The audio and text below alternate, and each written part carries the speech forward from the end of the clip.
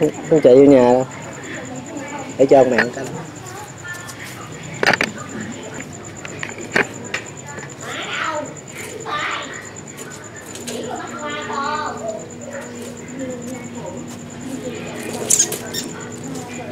Ngồi luôn